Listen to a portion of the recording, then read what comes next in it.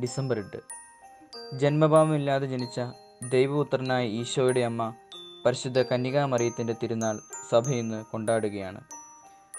ആദിമാതാവായ ഹവായുടെ അനുസരണക്കേടിനാൽ വന്ന പാപത്തെ തുടച്ചു നീക്കുവാൻ ദൈവമൊരുക്കിയ സ്നേഹസമ്മാനമാണ് പരിശുദ്ധയമ്മ ജനനം മുതൽ കൃപ നിറഞ്ഞ അമ്മ വിശ്വാസത്തിന്റെ സാക്ഷ്യവും സമ്പൂർണ സമർപ്പണത്തിന്റെ മാതൃകയുമാണ്.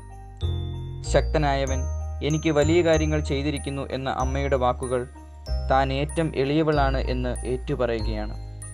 മനുഷ്യകുലത്തിലെ ഏറ്റവും വലിയവളായി മാറുന്നതിന് അമ്മയുടെ ഈ എളിമ കാരണമാവുകയാണ്. രക്ഷകനെ ലോകത്തിന് വാഗ്ദാനം ചെയ്യാൻ ദൈവമൊരുക്കിയ സ്നേഹ പദ്ധതി അതാണ് പരിശുദ്ധയമ്മ ദൈവത്തിന്റെ ഹിതത്തോട് തന്റെ ഹിതത്തെ ചേർത്ത് വെച്ച് രക്ഷകന്റെ മാതാവായ അമ്മയെപ്പോലെ ദൈവഹിതത്തിന് ആമേൻ പറയാൻ നമുക്കും സാധിക്കട്ടെ.